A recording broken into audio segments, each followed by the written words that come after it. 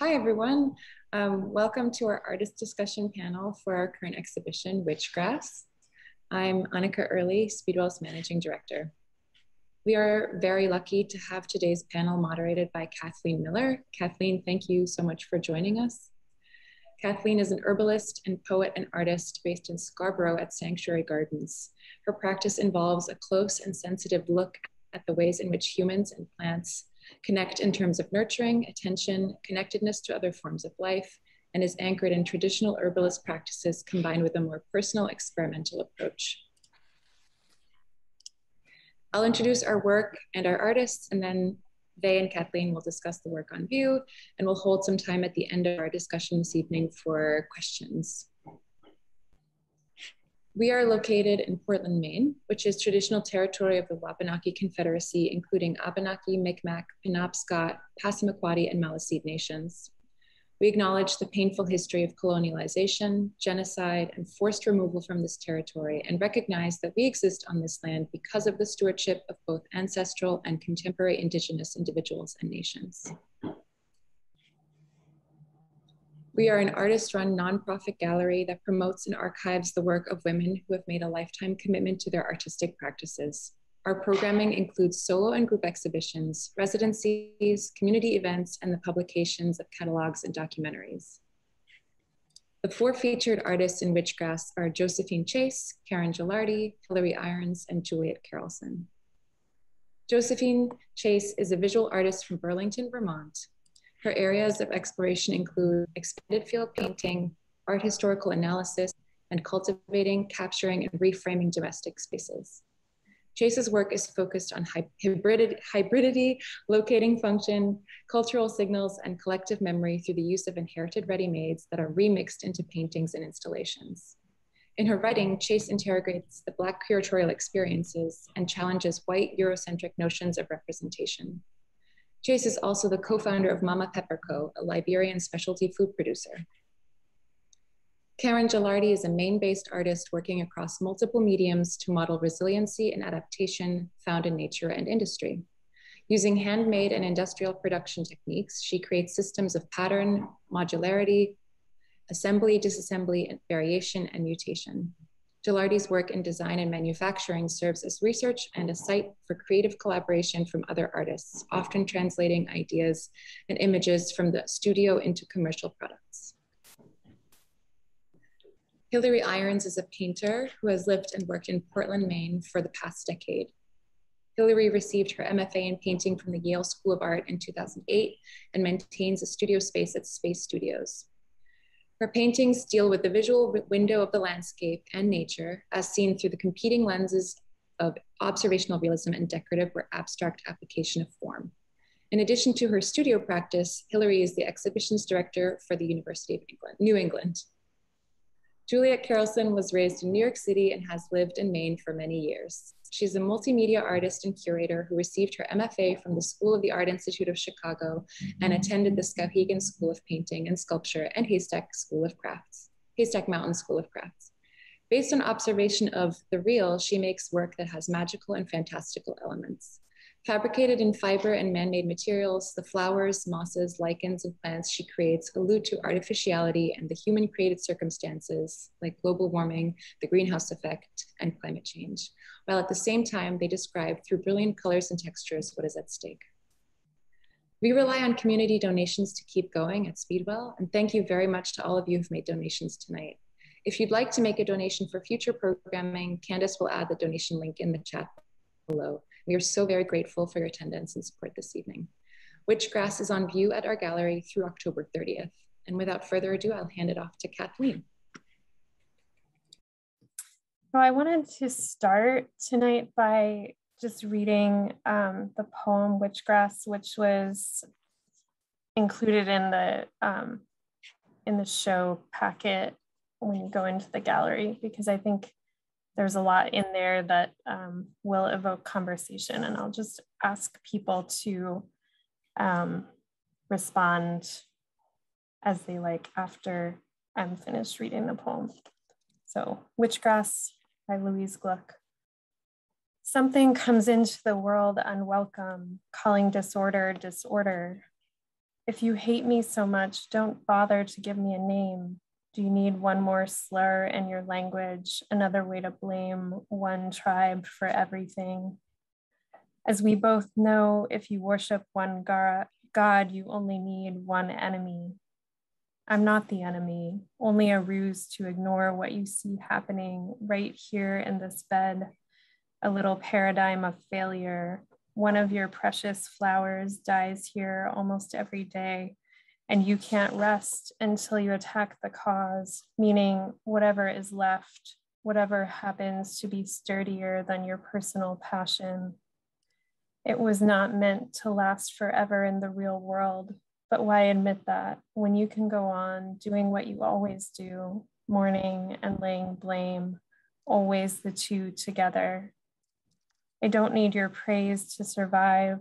I was here first, before you were here, before you ever planted a garden. And I'll be here when only the sun and moon are left, and the sea and the wide field. I will constitute the field. So if anybody would like to um, respond, any of the artists would like to respond to that poem in terms of how it relates to your work or just your thoughts about how that speaks to themes of the show, I'd love to hear that. Thanks.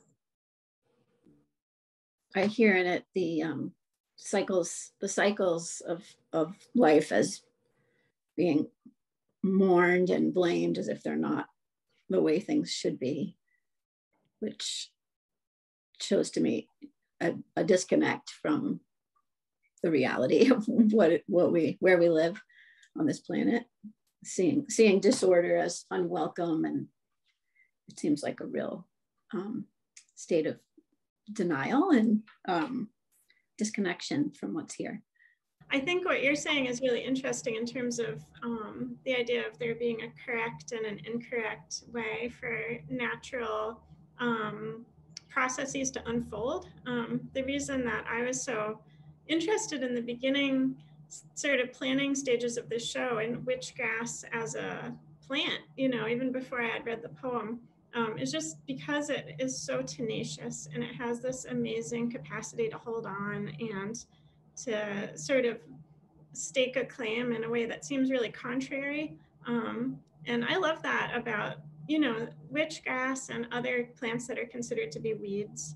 They're, you know, they have a certain kind of beauty, but it's a really uncultivated kind of beauty and um, a really sort of uh, disruptive presence. Um, and I like how, you know, I like how they disrupt an order that is imposed. Um, I feel like a lot of the time um, in my life as a woman, um, a cisgendered white woman, I feel like there are um, places in my life where, you know, tenacity and contrariness and ugliness are sort of um, my my tools that I can use. Um, and I do see a kind of common language with with weeds in that respect. So yeah, thank you, um, Cathleen, for the question. Yeah, and just to um, bounce right off of that, it was a great read in terms of thinking about um, for the pieces that I I showed the cars that I was working with. The moment of intervention really came for me at, at seeing how much they were a part of the landscape again, right? And like all of the ways that the human function had sort of abandoned it and then the way that nature repurposed it whether that was with like wild weeds growing out of it or with like even animals inhabiting like these car objects and just thinking about like that they didn't lose their aesthetic power at all even though they were going through these different life cycles so yeah witchgrass is really interesting to me too um, thinking about the work through the lens of of the poem yeah, you know, it's interesting. I hadn't thought about this, but Hillary, when you use the word tenacity and you talked about having that be a part of your life, I remember as a kid when my mother really wanted to insult me, she would say that I was. Yeah, I guess what I really felt reading the poem, well, I mean, first when Hillary found the poem, which I thought was great, I loved the title, and I felt like because it was we were going to be four women doing it, that I loved the, the witchy idea and the grass and, and reading it, I guess just what really struck me was just the pain. You know, that's what came forth was pain. And, you know, I, I think you could see the pain in various ways. And I guess that, you know, the question is, do the, do the plants feel the pain? Does the, does the earth feel the pain, the pain? Do we feel the pain, feeling badly about what we're doing to the earth? But, but that was sort of the predominant thing to me was just, it was just really painful to read, you know, in a good way. it seemed to be describing like a, a, dysfunctional family relationship or something like that, where the whole thing is being misunderstood. You know, the, the all the amazing qualities of the witchgrass that it is tenacious, that it can propagate in these kind of slim pickings kind of conditions and be its full self as what it is and i find that admirable, but that it's totally misunderstood as like the villain and, and the person who wants to control a certain a space a certain way. It just feels like a missed opportunity all around, you know, all the lessons that it has to teach. And that it and that in, in reverse, that it's seeing the human as the same as a weed itself, you know, whereas it doesn't have to be that way. Um, so it seems like a missed opportunity. for both entities. Or like the, with Josephine, like you're saying with the with the car doors, you know that they can it can become like a habitat for animals or something armature for the plants to grow over. You know, doesn't have to mean that that object was wrong to be there necessarily. Well, one of the things that we were sort of like discussing that Cathleen had kind of prompted was our initial responses uh, to the poem. And I thought that what you were talking about too, Karen, um, the idea of the format of giving the grass itself in the poem this like anthropomorphized, um, almost human agency, right? Mm-hmm. The idea of trying to think about how that power brokerage between again it's an oppositional binary that we can maybe mm-hmm. deconstruct too in this conversation is this idea of like like man and nature as these like separate things too. Um, mm-hmm. um but yeah that coming up for you in the poem i guess and i didn't mean to put yeah. you on the spot but i thought it was a really great question. Yeah. Yeah that the that you could hear the voice of the writer um in the way it spoke for the grass as having bought into this dynamic of like you said this power struggle of this binary where we're in opposition and kind of setting that as the framework is as the core like the assumption that that's how it is.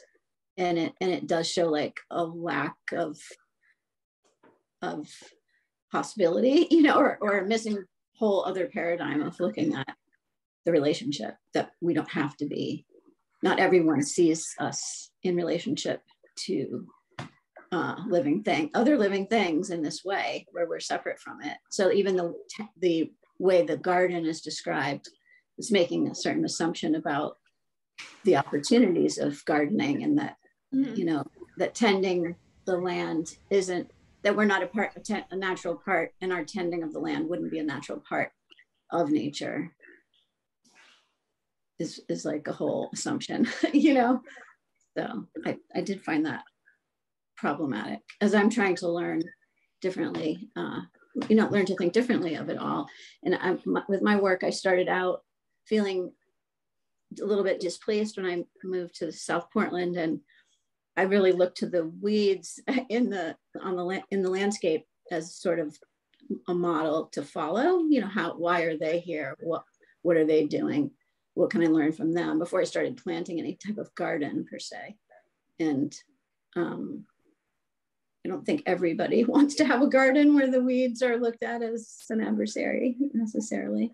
So.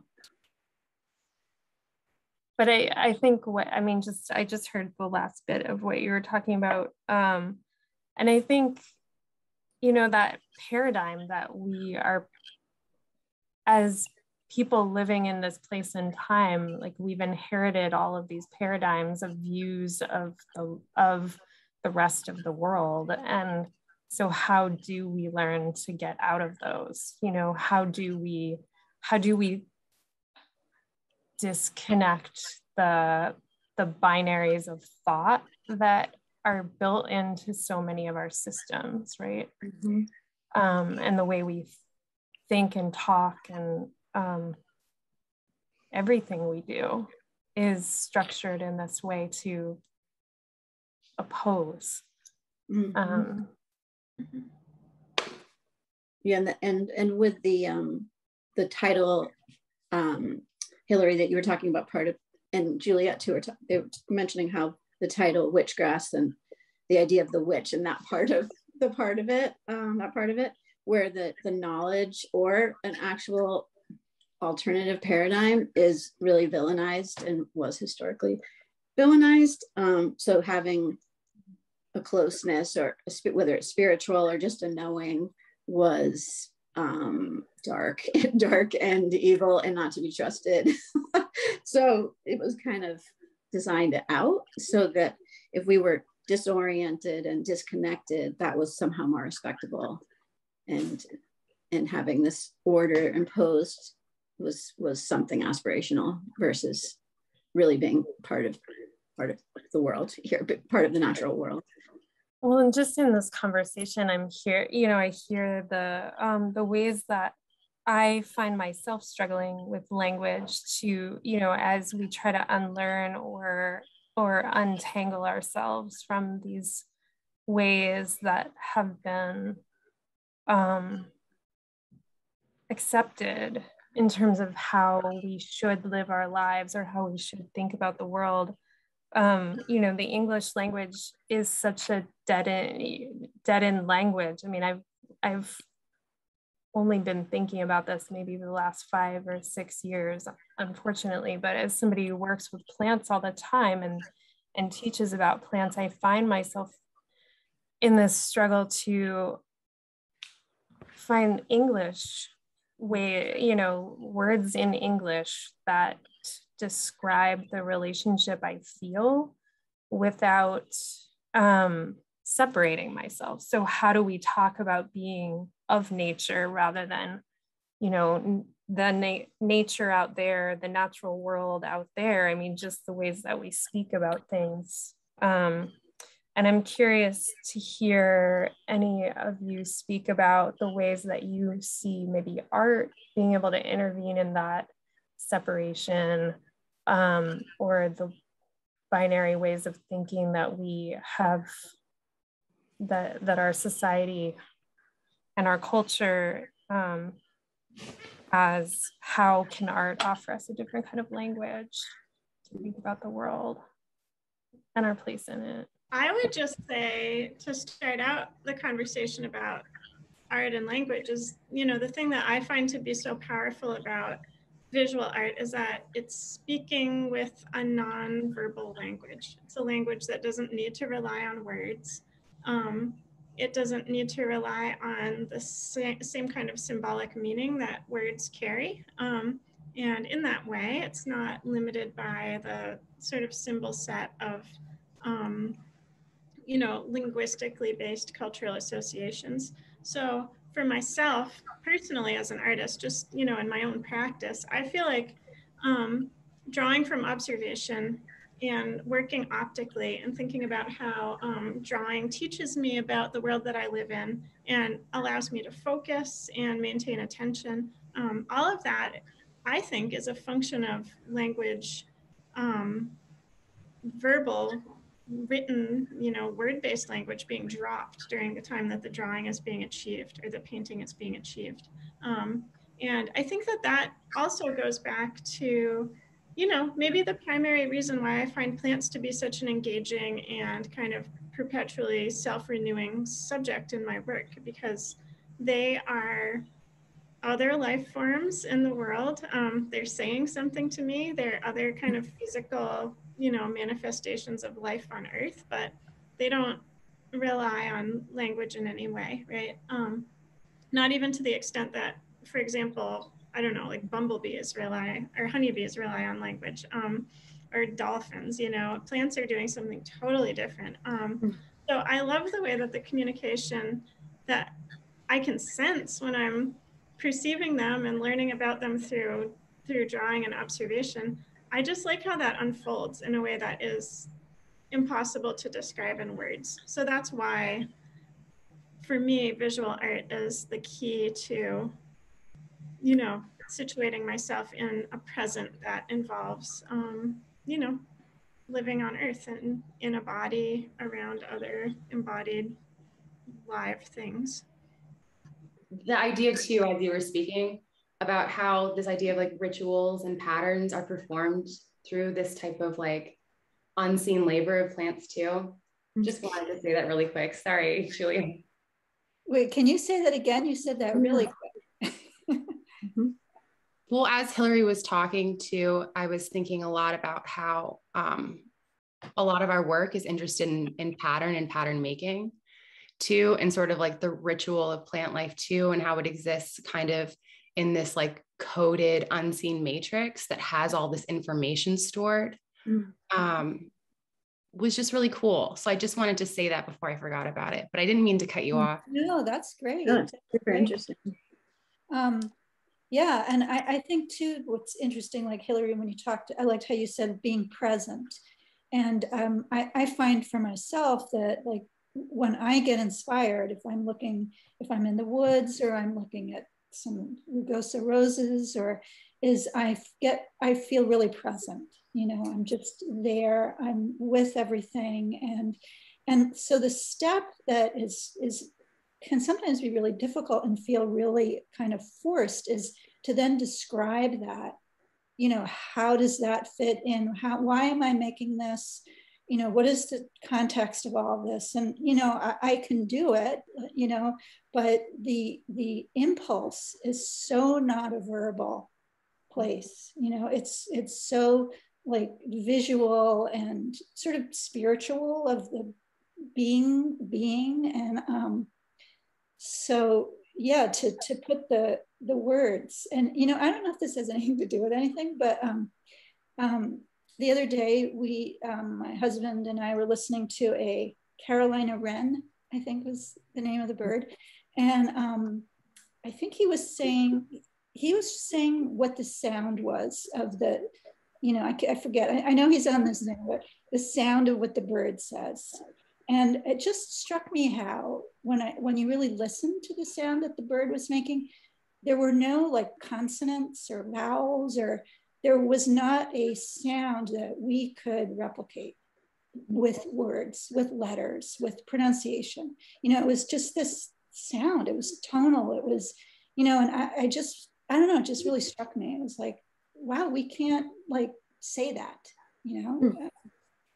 So maybe just shifting gears a little bit, um, thinking about the show itself. Um, as I engaged, I've only been to the show one time. Unfortunately, I hope to come back um, before it's down because it's a really beautiful show. Um, but as I engaged with it, I thought about the work as a whole, um, which created this feeling for me of of being a body in a landscape. And I'm really curious to hear um, how you see your own work and the forms and images you create in relationship to the other bodies that inhabit the same space. How do you see that relationship? And what does it mean to make images or objects that represent other bodies? And how does it alter your relationship with them? Like, I think what, you know, talking about like trying to put something into language is one thing, but like, how does because that alters our relationship. I relate to that question um, in that I think the observational drawings that um, are similar to Hillary's experience, you know, I'm looking to the plants and forms and botanical forms that I'm drawing. I'm looking for clues of how, what strategies they use to do what they do. And um, particularly around like resiliency. Um, and so there's that aspect of my practice where i'm observing as a way of you know learn. So the drawing process itself is like a way of recording recording those observations, and not it's not always obvious to me what what they are, but through the transcribing them, some, you know, I may start to understand a little bit better. And then there is this instinct to the, to have the drawing itself be a life force and then an instinct to want to bring it into fr from some concept. As a drawing it still feels like an idea and a concept but some how making it into a sculpture or an object through printmaking it then becomes embodied and becomes an object that enters into our our real real actual space that we can interact with. Um, so i'm not sure if that exactly speaks to what you're saying. Um, Cathleen but uh, I, think the pieces I have in the show are those efforts to embody the recordings that I've made and, and make them into living things themselves, you know, um, and allow the drawing to kind of move from one thing to the next um, it, in the different prints that it becomes and different sculptures that it becomes. Because I'm, I'm, print, I'm making a print onto a fabric that then turn, is turned into a sculpture and then is re presented as maybe a fabric drawing of the sculpture. So it's kind of multi-generational, but kind of mimicking the, the bodies and the forms that I'm seeing. So, and then I think it's interesting to have them sit in the space with the other pieces in the show. Um, so it's a little bit like mimicking the life forms. I'm curious, Karen, what kind of life forms you're looking at? Like, are there specific plant plants or other bodies that you're interested in? They're, they're mostly they're mostly weeds, um, weeds that I, I didn't know the names of, that I didn't understand, I didn't know what they were, you know, um, close to my home, um, either in the, you know, the edge of the yard, um, adjacent to the sidewalk, creeping in between those in those funny spaces, um, or along the pathway that I walk um, along Casco Bay, the green the green uh, mile they call it in South Portland. So um, a lot of a lot of the things I was drawing, I had very little understanding of what they were and, and didn't have any names for them. So um, still still trying to identify a lot of them. Um, I was going to say that, yeah, Cathleen, I would agree that in my experience of the exhibition, which, um, you know, Juliet Carlson and I sort of, you know, put together, um, but you know, we knew we would get a surprise when um, the installation happened and all the work was together in the space. I also experienced the show as, you know, very anchored around um, the idea of the body in space and the experience of multiplicity, um, the experience of seeing the sort of, you know, disembodied images of plants kind of encroaching in a way um, there's not real plants in the space. There's there's really only images of them that remind us of how plants behave um, in the environment and uh, kind of mimic that without you know really holding it. It's kind of an interesting thing.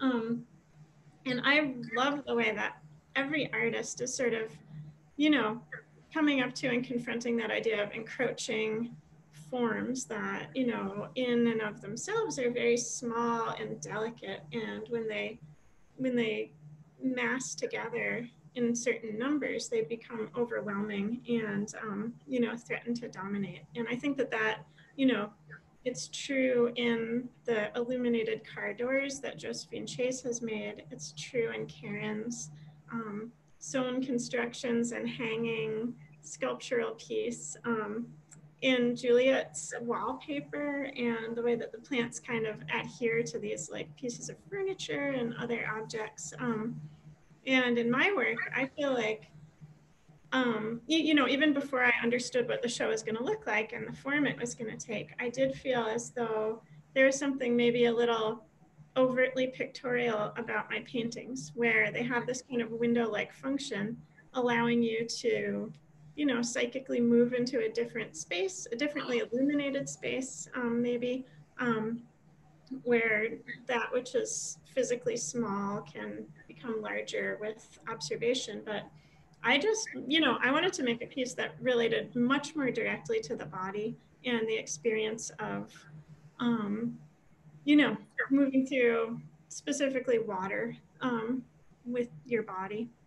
Um, I was swimming a lot in the ocean this summer and thinking a lot about uh, submarines. Um, and I know that that's not exactly the same topic as plants, but it does have, you know, um, I think a relationship just in terms of thinking about how we relate to things that we know are in the world and that we encounter, but we don't really understand, right? So I made this piece with two drawings on large black pieces of paper of depth charges. So in this case, they're World War II era um, depth charges, which are sort of anti-submarine um, uh, sinking bombs that detonate when they reach a certain water pressure. Um, so the idea with this piece is that the, the top of them is about the height of um, your chest. And you can, if you stand close enough to the, to the piece, you can feel as though these, these shapes are sinking down in a really heavy way and that these cut forms of seaweed that I made are kind of floating up. And, um, you know, the water surface becomes something that you can't obtain anymore. It's it's out of reach, and so there's a sense of you know maybe drowning or um, losing control a little bit, um, and the sense of heaviness and floating. So yeah, so I was thinking about that a lot with that piece specifically. So it was really great to me to see how the other artists' work was also, you know, really responding to that idea. So thanks. I really liked Hillary when you, I think you just said it right now, but the scale, the difference in scale that the work has in the show altogether. And that, you know, it just got me thinking about it because, you know, when we when we put this show together, we chose artists whose work we really like, and then it just kind of came together as it came together. And I am just starting to make the connections of how things look in the gallery and what's going on because it was so much to get it in there and set it up and look at the you know information so just to hear or, or to read when you wrote about scale it really just got me thinking and um, i think something that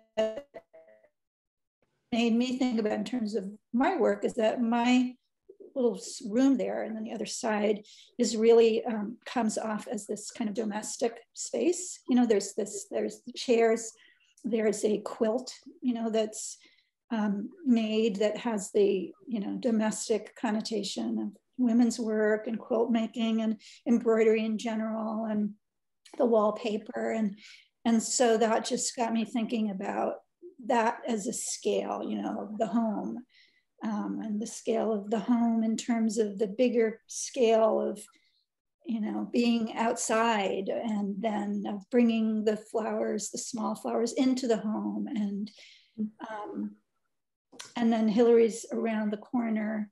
I love those little those little drawings small which we figured out early on that those were kind i don't know if if you had an intention but to me they look like dewdrops, you know, when you see dew and you can see like mm-hmm. little reflections of what's in the dewdrop. And um, so that is just this really tiny thing. And then my glass domes that are about observation of tiny things. And I don't know, and I, I, am just kind of going this. But Josephine, I was thinking that you and I have this parallel of um, you know, we've taken objects, recognizable objects. You have the car doors, I have the chairs, and we're working with these recognizable objects and transforming them with the painting. And um, yeah, so I liked that. And Karen, I love how all your lines and mark making and systems just kind of weave into everything else, you know, that just sort of makes everything connected in there and kind of moves through. So that's what I got out of the show. yeah. And then thinking about your question about um, Cathleen about like bodies and space in relationship to us and our representation of non-human bodies. Um, yeah, I agree with Juliet that use of the ready-made um, and especially thinking about man-made objects in relationship to like again this idea of like a brokenness or an incompleteness and then that nature growing through it is somehow this like icon. If you see a car and it's been um, overrun by weeds it gives this idea that a body has like left it as well right? It's like every bit that surrogate of that human presence. Um, but it's complicated. It becomes like a a narrative something to project into um, as we watch like i don't know that type of um, not not even manipulation but just functioning of nature too. Um, so I, I think a lot about that in terms of seeing that as potential and then thinking about what's the best way to work with that too and kind of honor it in all of those spaces too not idealize um, an, an original function but to really try to hold all of those different spaces as well as, is really important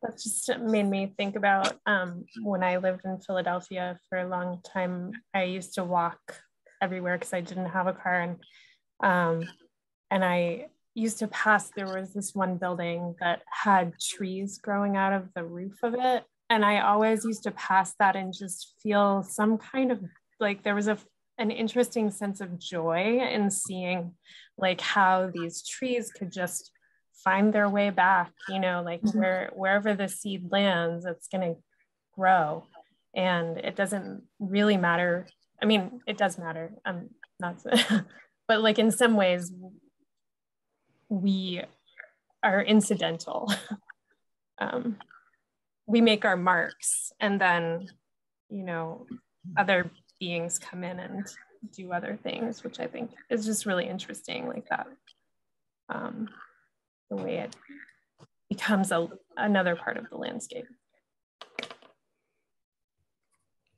Well, I don't know how many people read um, Edgar Allen Beem's review of our show, but I loved his last paragraph where he was basically saying, you know, um, all the artists are going to be dead and all of our work will have deteriorated. And that's just, you know, that's how it goes.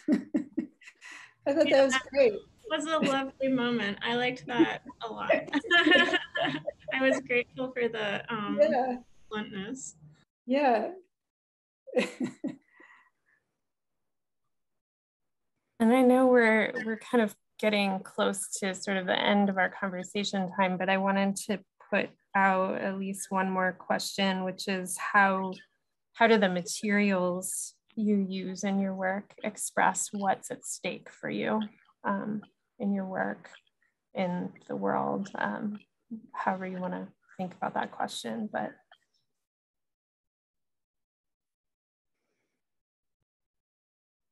Can you repeat the question, Cathleen? Just one more time. I, I can. It just um, out here a second. I'm sorry.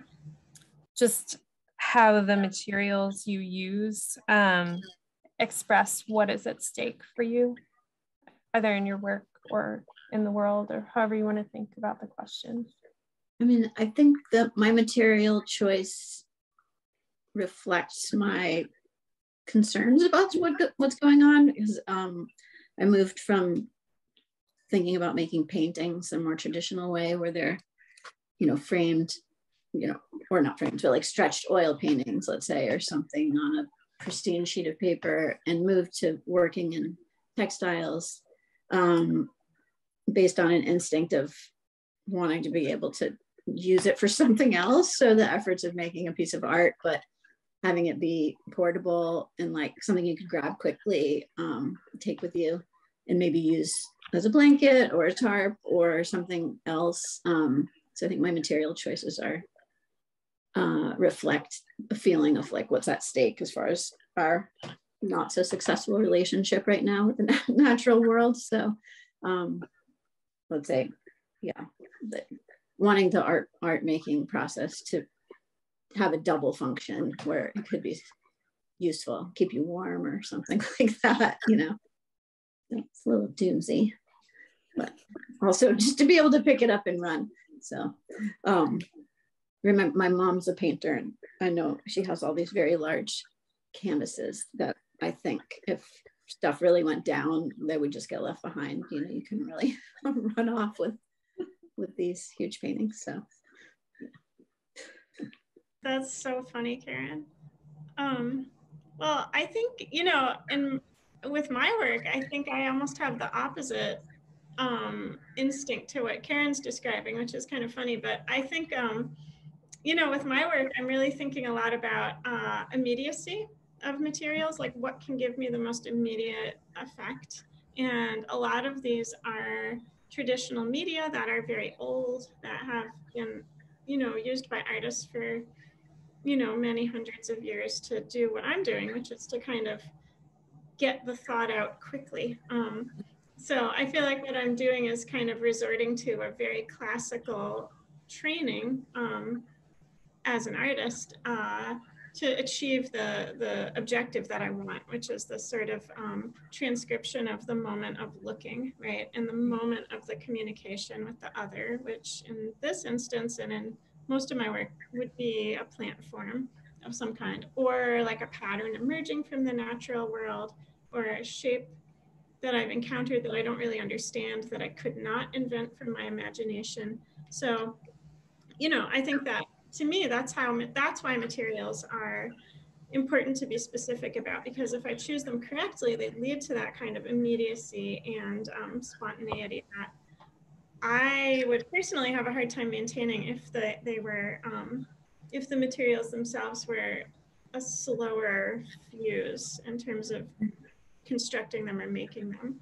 So I think maybe that's also why I will always be a painter and never a sculptor. Um, because that's just uh, a totally different modality in terms of thinking about like objects and their function, um, their kind of spiritual function as as art. So that's me. In a nutshell.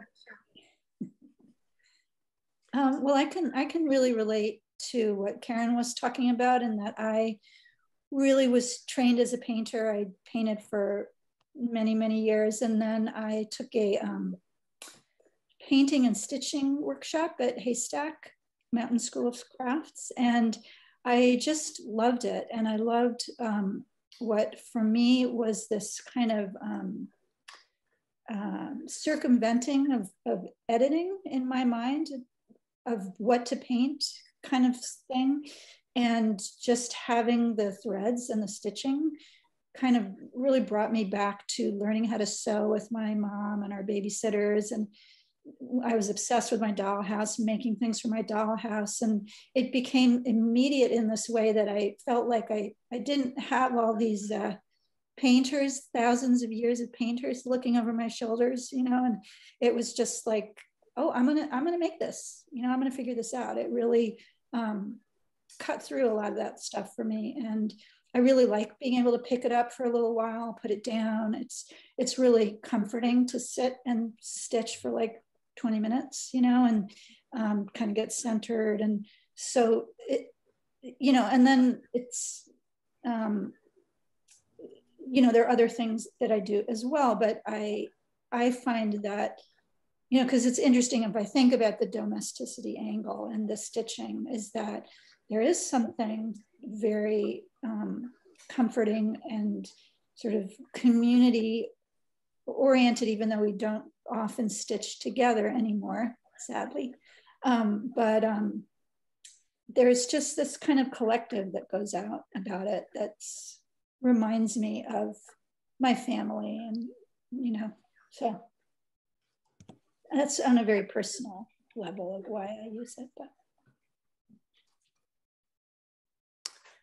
Um, yeah, I, I, a lot to already think about. I think that relationship to painting has already um, been been articulated as, and I and I agree with it to a to a large amount. Um, the supports that I'm using for paintings are being sourced um, at a point where they're relegated to like trash at that point. Um, they're like throwaway discarded items. Um, so I think that treating them in the language of painting or treating them in a fine art um, treatment is to like also ask questions about like what are those value systems? Um and that's interesting to me too right? The idea of like again they're ready made so there's already these systems of labors that have been like marinating in them to begin with and then through um, painting to touch every surface and to address it and to give it value through your your labor and your perspective in viewing it as as um as an art object um that's that's interesting to me too in like in all the moments of it right? And at what point does it stop being this other thing? And also not like staying in those places either. Um so i guess that's how material shows up for me yeah in this conversation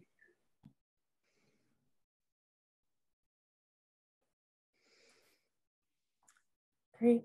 Thank you all for your thoughtful responses. I mean, um, yeah, there's so much more that we could talk about, I think.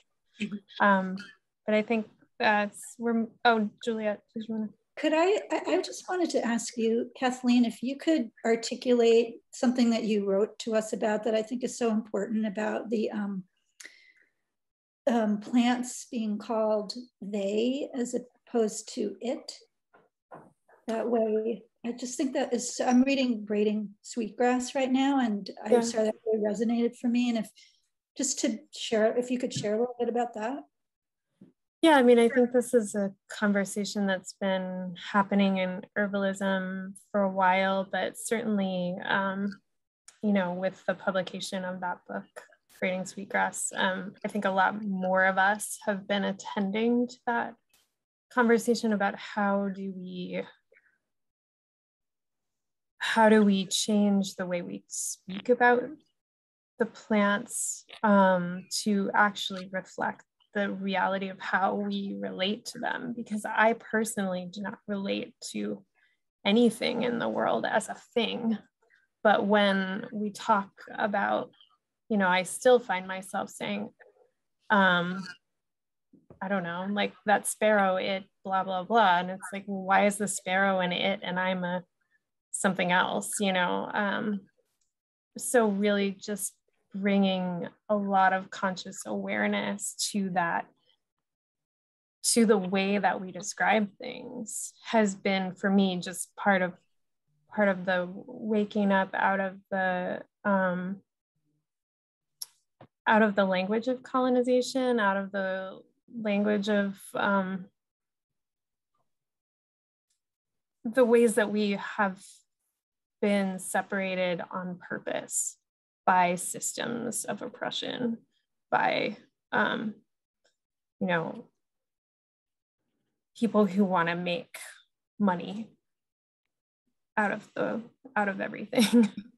um, so I'm I guess that's I don't know if that's helpful, but I definitely think um, you know, braiding sweetgrass and and Robin Wall Kimmerer's work has been very crucial to a lot of a lot of the conversations that we're having. But certainly, I Indigenous elders I've studied with numerous people who um, have brought this up in teachings and and thinking about plants as our ancestors and our elders that we are um, you know, evolutionarily speaking, we're pretty young on the planet. And how do we actually think about learning from the other beings that are on the planet with us rather than taking from them? And I think it has such an immediate, I don't know, after I read that in her book, I went outside and I was just looking at the plants and the trees and speaking they they like changing my thoughts and it was immediately so powerful. It was just I, it was suddenly this circle you know it was like everyone together in this just really amazingly fast powerful way i thought.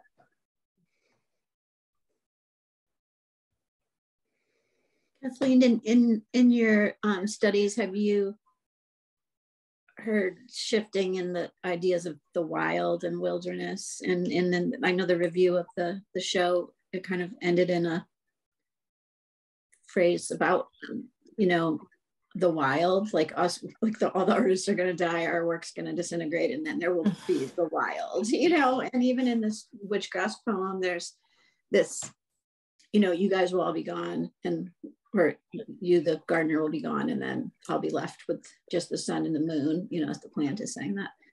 But have you been hearing any shifting in that thinking of, of us and then wilderness or us and then the wild?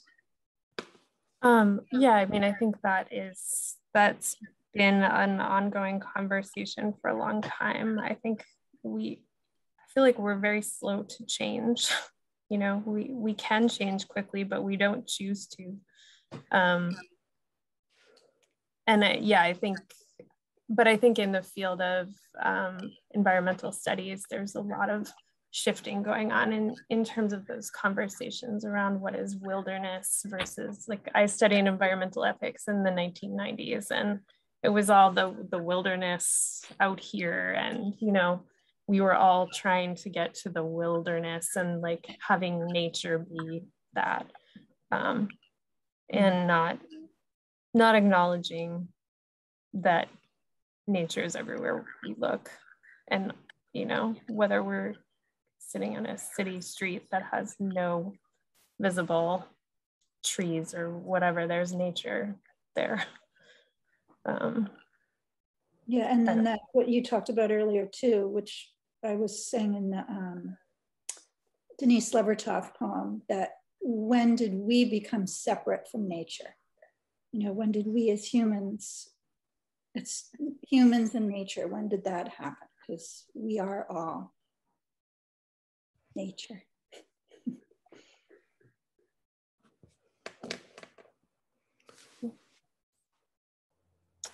um, I want to see if there are questions from the audience. Um, if anybody has things they want to hear from the artist.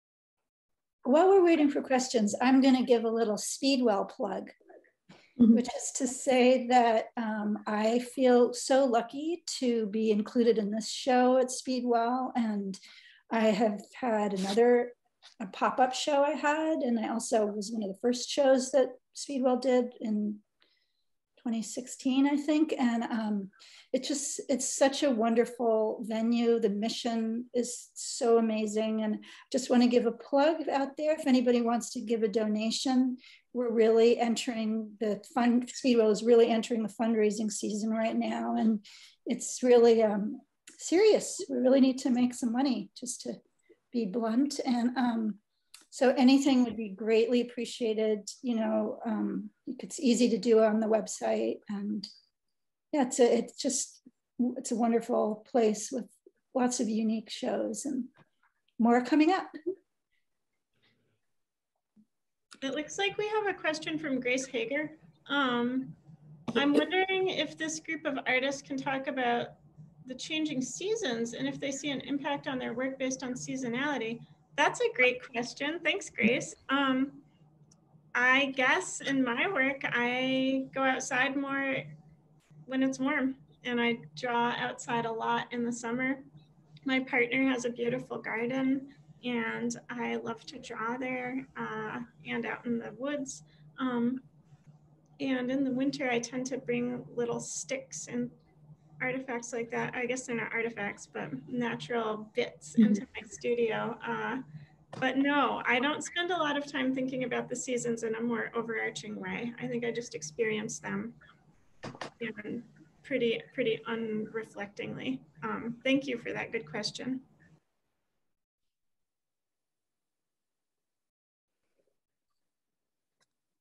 And I think um, for me, the the changing of the seasons right now, I, I for the first time did a, a quite a large garden project. And so throughout the whole summer, I was documenting it with photography. So I'm looking forward to having uh, less active, uh, you know, outdoor exploration happening and then being able to reflect upon it over the next, you know, the long Maine winter and, you know, the fall as well. So um, yeah, I think that will shift shift my work quite a bit to have time with time with it indoors, reflecting. Well, I know for me, um, in terms of making cyanotypes from actual flowers, that there was definitely this, you know, there's this time frame anywhere but in Maine. And I, when the, um, I've been really focusing on flowers that bees love to pollinate. And um, this spring, when all the apple trees were in bloom and uh, there were all these bees, and I was like, oh my God, they love the apple blossoms, you know. and and and I and it was happening so fast you know they they were like the blossoms were started and then they were peaking and then and i there was this sort of panic because i had to suddenly plan it all out because I, you really have like a week until they you know the blossoms start to fall off and they fly and and that's all good too but it definitely i felt like oh my god i've got to like stay on top of this and and then the lilacs and then the you know the flowers just they move so quickly and um so so that has really impacted but but I, I, I love that about it. I love that it's you know i gotta like keep my wits about me.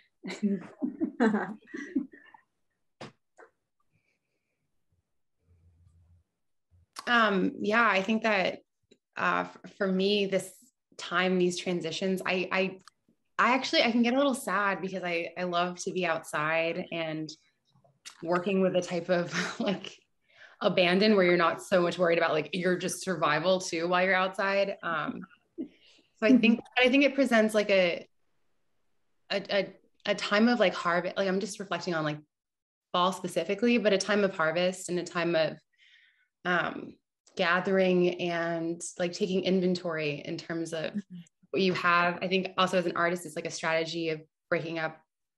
How does the work change too? It goes from in in my case being like as big a scale as I want, um, really being able to use the land really immediately um, as a material. Um, and and now is the time of like planning and then taking like stock of those kinds of things, um, which can be cool, right? Because the scale can change and it becomes, I guess, for me too, when you're working in the winter, smaller. Um, touch operates differently too. Um, so it's it's exciting too but yeah yeah i always get a little sad too around this time of year yeah i hear you when people when people are like oh the fall is so beautiful and it's kind of like eh. yeah but so grace is following up to say that um, there's an interesting sense of storing things up for the winter um, mm-hmm. practice. I really like that. Mm, yeah, I love that. Yeah. Are there any other questions from anybody? There must be someone out there. if not, that's fine, of course. That's fine. That's fine. I just want to, I'll, I'll take a moment to, did you guys ever know that book called um, Frederick about this field mouse?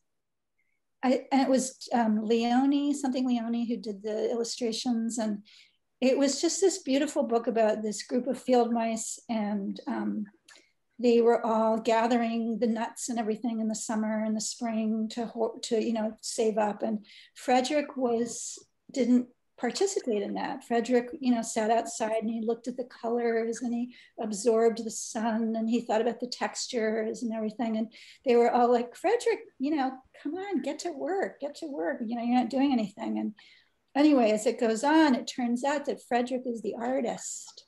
You know, and after when everybody's cold and they're all have eaten all their food, he comes out and he talks about the the sun and the colors and the flowers and the plants and he raises their spirits you know and I, I, just I just love that book. So, you know, when Josephine was saying about storing up for the winter, and you know, I guess these are kind of our nuts, but really it's the those you know, warm, you know, as you go into the winter.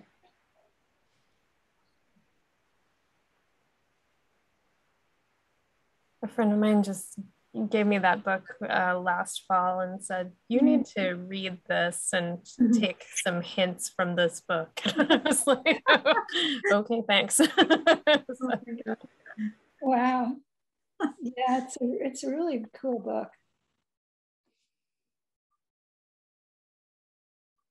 You know, because it really is a lot of the times I wonder, you know, what's the, what is the artist's role? You know, like what, here's everybody, all the other mice are doing these really practical things for survival. And, you know, what, what are we doing? Looking at the flowers, you know?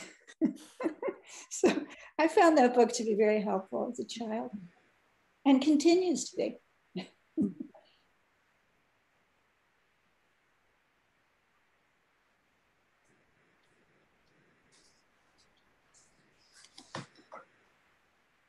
Yeah, I do. I do think it can be practical in a way to to be making these works. You know, it, I find them to be models that, um, in some way, can instruct or help make connections or remap our, our thoughts a little bit. So I think there's practicality in it as well. Yeah. Oh, I know there. I know yeah. there's for me. I just. Mm-hmm.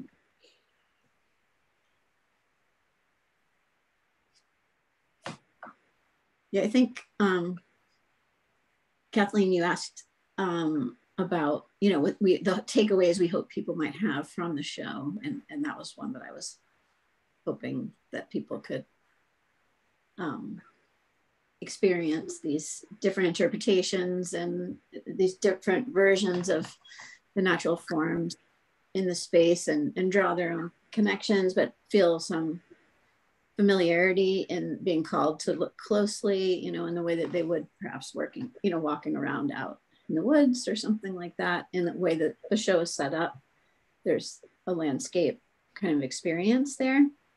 And even with, you know, the, the doors being just present, you can picture being out in the field and coming across these abandoned objects. And so in some way, I thought that would be the takeaway that I would hope there would be um, like a familiarity to look to look closely and and learn some new connections between things. So I've been enjoying um, Annika's background, looking at Josephine's car doors mm. with the landscape driving by. Mm-hmm. oh um, yeah, right. You know, as we've been talking, it's interesting. Mm-hmm yeah the actual cars moving moving by. I think that's such an interesting part of it. And the space used to be a car dealership i think is really interesting too so. Yeah. And when you stand where the photo prints are and the cars are going by and the car doors and it's all really it's great connections. Mm-hmm. are there any other questions thank you uh, to Cathleen and to the artists for joining us this evening. And thank you to the audience for joining us as well. Uh, we really appreciate the time you spend with us tonight. Um, and thank you very much. And we hope you uh, to see you at the gallery to see Witchgrass in person. Again, it's on view until October 30th. Thank you. Thank you. Thank you, Annika. Thank you, Cathleen, and everybody. Thank you, everyone. In the audience. Thank you.